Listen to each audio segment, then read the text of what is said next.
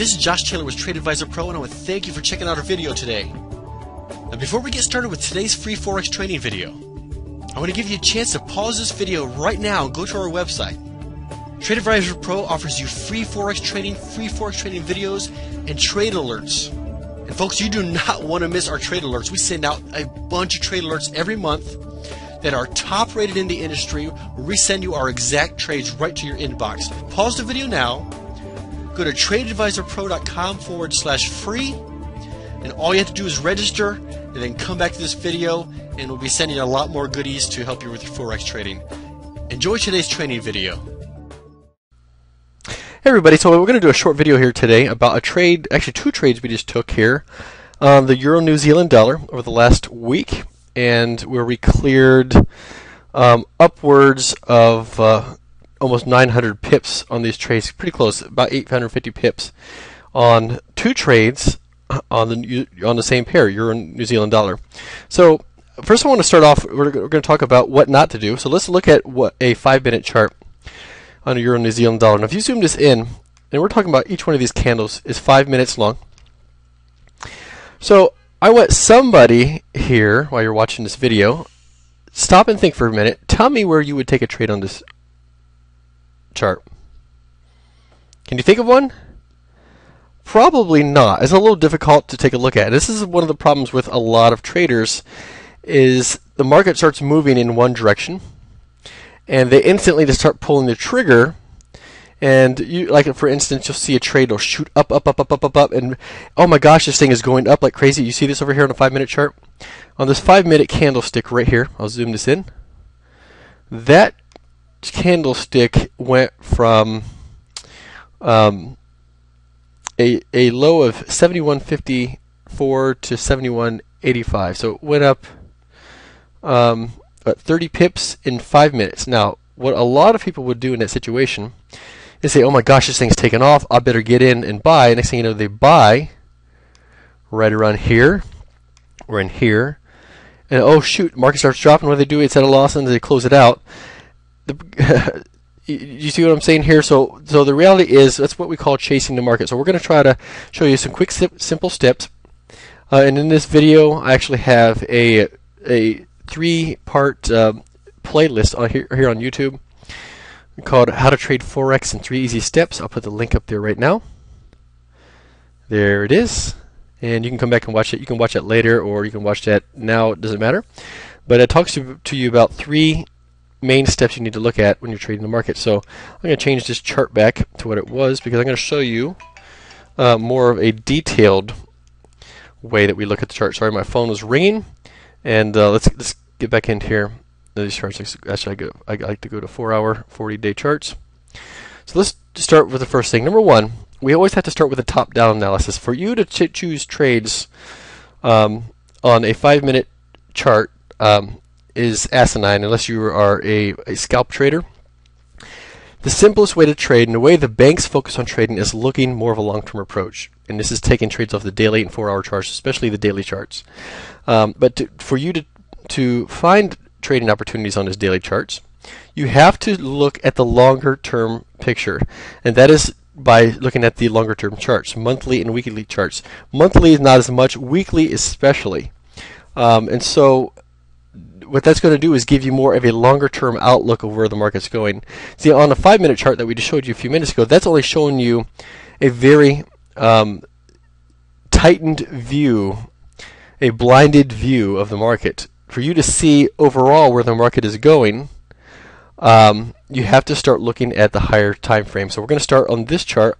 I'm going to show you what we what I found, and this was uh, a few weeks ago, I saw in advance potential opportunities, two opportunities. We set these trades up in advance. In fact, I think in fact we set these up three weeks ago.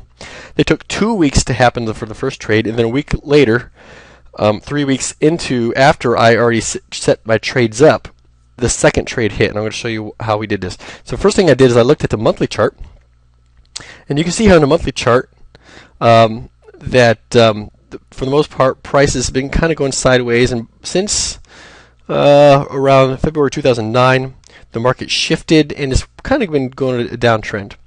Now, we can see this downtrend. Well, it's pointing down. it's not too difficult. But now we've been kind of getting a around this range in here, um, around July, end of July 2012. Uh, the market kind of started settling and kind of formed a base here. You can see that we had a solid base level here, and um, this comes back down to trading off of support and resistance in our other videos. But you can see that the the downtrend kind of leveled off. Okay and we price is slowly but surely started to turn around. Now, we, what we don't know is this could be a pullback in what is going to be a longer term downtrend. Most likely, we're going to start seeing that the euro New Zealand dollar will continue to work its way back up. But what I did to see on the on on this chart is we have a nice base here of support. Um, which was the resistance at this point here. So didn't see a huge opportunity, but at least I could get an idea of where the market's at and if there's any um, past support or resistance points that may give us some bounce. Uh, where I really found the opportunity was looking at the weekly charts. I could see here over time that we had a really strong key level here. Like I'm going to see if I can stretch this weekly out a little further. Okay, and see what we got here. So right around this level here of 70.52, there was this is a good support level. Um, ish. You know, you know what I mean. You're not going to have the exact levels, but you can see here, the, even zooming in to the nearer term, that this level is held pretty well as a good solid slash support level. When it finally did broke through, it came back and look what it did. It came near this level and stayed there and uh, rejected. We also saw that we had a base here. We had some good um, support in this area here. So here and here. And at the time, um, price was really working its way. Uh, it was in this range here. This has been three weeks ago, so somewhere in this range. Price was right in the middle. In fact, I'm going to zoom this in right now, real quick. Okay, and you see that how price was right in that middle range here about three weeks ago, and we saw the opportunity that we could take a buy opportunity somewhere down near here. Is is in fact what I finally took a level. When I looked down to the daily charts, I ended up finding that 6400 was really about the better place. So what happened was price actually moved its way down. So what here's what I did. Uh, let's step back. So I'm sorry about that. Let's step back. I saw that since price was here in the middle, and it seems to been that it's been ranging between this 64 oh not 6400 level ish and 7050 ish. All right. And so what happened is I, I noticed that every time price comes up here has a strong rejection, when it comes up here a strong rejection, it keeps bouncing between these levels. And they've held pretty well. So I what I did is I took an opportunity to buy at the lowest support level, knowing that most likely we're going to have a bounce that's going to continue in this range, and I sold up at this level here. So that was what I saw in the weekly chart. But I still had to get confirmation on the daily chart that I was seeing the same type of trades. And so let me zoom this in on the daily chart, and this would have been, I don't know the exact date, I think it was around the 17th we put these trade levels in. So somewhere around this range here, around the 17th, price was right in here, and I saw the same thing, that we had a pretty strong key level right in this area here. There's the wicks and the bodies right there, so around 7050. but reality is we could have actually gone higher into 7100 and taken an opportunity. But I, I saw when I scrolled through this that 7050 based on a weekly chart was very strong. Based on a daily chart, we're looking at the same thing. This thing keeps ranging kind of between these these levels here. Um, that's not the level I wanted there. This is it around 6400. In fact, let me change that value. I'm 6400. okay, now, so here's what I did. So around the 17th of June, right there, we put an order in. No, it had to have been after that. Yeah, it was a few days after that, I believe. Um, I think price had just hit this level. We missed that trade because I, I wasn't paying attention, and it was working its way back down again. So what I did is I took a an order. Uh, so it was July 17th. We actually saw that this kept bouncing between these ranges. Now, if you haven't seen my course, it's like an ebook I put together on how to trade ranges. You can search for that. Um, go to our website uh, and do a search for that. But it's a really cool ebook. Explains how to trade trade, trade ranges. And right now, the Euro New Zealand dollar has been in a range. And so what we do, what I did on the 17th, is I went ahead and placed an order to buy at 16400 with a profit target of 1.7, so right around here, and then to sell at 7050 with a profit target back down to 164.50, 16500 range. Okay, so here's what happened. Price came down. We stayed in that trade a few days. As soon as we got up a good amount of pips, uh, we closed out a 50% of our position and moved our stop to break even. Now, what's that going to do? One, you just locked in some profit. Two, if the trade decided to take straight down, it doesn't matter. It would close the rest of the trade at break even, and you'd at least made some profit on the trade. What you're doing is protecting your downside on that trade. At the same time, I t- already put an order in, knowing that tr- it was working its way down, but it could go any way. It was right in what we call no man's land, right here in the middle. And the market started going up, up, up, up, up. I saw some rejection coming in here. I actually closed my trade out at 169.65, so 35 pips early, but still we're talking about um, 535 pips. We, we, we, closed that trade at. Um, and then I had an order here at 70.50. Now, my order more than got filled. I had a, um, my order was set to 70.50. Um, and my stop loss was at uh, 71.70. I had a 120 pip stop. This is a this this pair can move some serious pips, so you've got to give it give it some breathing room, especially when you're trading this way off the long-term charts. What happened was the high never got me took out. I was close. I was 17 pips away from getting stopped out. However, I did not get in at 70.50. If you cut down into um, the daily, uh, more of a four-hour chart on that day, which was the 5th of August. Let's go to 4 hour chart so we can kind of show you what happened. This has got to be right in here. Oh, just delete that. Right in here. You can see here on, where's the 5th of August? Somewhere in this range. Anyway, price had exploded. Yeah, right. Okay, it was it was it was the second. Price had exploded up on this trade. Um, and basically took us to a point of almost getting stopped out. And it was to the point to where I did not get filled at my 70-50 range. Um, it my by the time my broker the market moved so quick. By the time the broker filled my order, it filled it at um, 71.20. So I actually got 20 70 pips deeper when when the order got filled, and then look here what happened on the daily chart. Sure enough, it rejected off of that and continued working its way down. Now, this has been a couple of days. As of today, this price is this thing was up as high as oh, let's see here. Let me do some math here. 450 pips. Um, we end up closing it out almost 300, 291, I think it was. We closed it out today.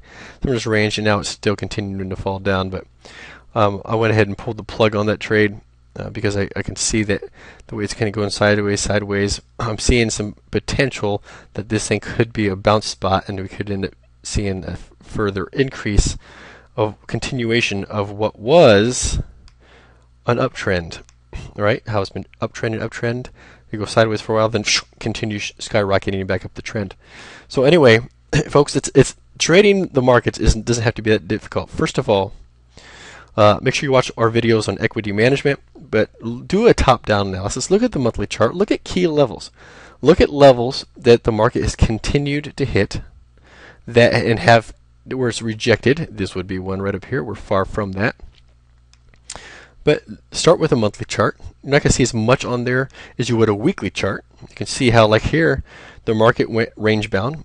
You could had a lot of opportunities, several, to sell I mean to buy, pull some profit out. We would have got stopped out at break even here. buy again, got to got fully closed your position here. Sold, took all your profit out there. Bought again, sold again. You see, you see what I'm saying? We could have taken tremendous number of trades right there just by following that range that was in. And the same thing here. The market's been in a range for the last week and a half. Uh, actually, uh, last couple months. I'm sorry about that. We're in a weekly chart, and you, you can trade the ranges. You tra- trade the bottom. Eventually, it's going to break out, and you're to you will get stopped out, or you, it'll break out and then it'll pull back again. You'll have a chance to close at break even, which happens a lot. But guys, it's not that difficult if you really just take the time to be patient. And sometimes, folks, I've had to set trades in advance, six weeks in advance. You know, today we took a pound yen trade that I do believe we set up. Uh, let me go to the pound yen real quick. I think we set this thing up. Oh my gosh, June. The market just came down. See this 147.82? How this has been a strong uh, resistance and support level, uh, what we call a key level. See right here. See right here. See right here. So price was up in this up here. I put an order back in this thing. I'm guessing end of June. So we're talking six weeks ago. To take if price would pull all the way back to 147.82, I'm buying. And sure enough, price came back, hit that level. Look how it rejected. Now the way that works, zoom that in. When you see price hit like that and then bounce, that is a strong indicator that the market completely is rejecting that level. It barely came down past our level before it shot back up. Um, in fact, it shot back up. let me see, 250 pips. Is that right? No. Yeah, yeah, 250 pips. A little, over that, about 250 pips. But right now we are up. Uh, let's see here, 150 pips ish, somewhere in that range uh, is still doing well. This trade is still going and it's still working its way back up. And, and what, I did is I closed out 75% of that trade because we, we closed out like a two and a half, 2.7 percent gain on that trade already. Um, closed out 75% of that position, moved my stop all the way up in here, okay, and uh, like 149.20. And then if it moves down a little bit more and stops this out, hey, the rest of the closed trade out and more, even more profit. If it continues up, then that's just a good upswing. So you can see in, see with this that we're in a range. This is a good place to buy. Obviously, this is a great place to looking for selling opportunities. So if price continues to move back up, I'm going to be looking to potentially sell this thing at 153.63. So anyway, that's it, folks, for today's little video. Um, just look at start with the monthly potentially if you want to do that, but at least look at the weekly charts the daily charts and the four hour charts. That's called a top down analysis. You have to look at, before you take a trade off of the daily chart or the four hour chart, you have to look at the long term of where the market's been moving the trade. It gives you a whole different um, picture about where the market's going. So if you continue doing that, um, I think you'll find that your trading is easier. And you want to make sure, again, I've talked about this before, you buy the dips in an uptrend, you sell the rallies in, in a downtrend, right? When the market's going up or sideways, let's say looking at an up market, you wait for pullbacks to key levels, back up key levels, price moved back up key level, back up, right? You look for those opportunities. Price had rejected here, so it was a good in here, so it was a good opportunity that price was going to reject here. So as price was going up, up, up, we're looking for a place where price would come down and bounce right? I talk about this in our webinars too about floors and ceilings. So anyway, folks, fo- keep focus on keep trading. Uh, keep digging into our materials on our website and on YouTube, and uh, let us know how we can help you. Folks, I hope you enjoyed today's training video. If you have not done so already, stop this video now and go to tradeadvisorpro.com forward slash free and register absolutely free for free Forex training, free Forex training videos, and free Forex traded alerts directly to your inbox. Go to the website right now and register for free. All kinds of goodies for you. Thanks a lot.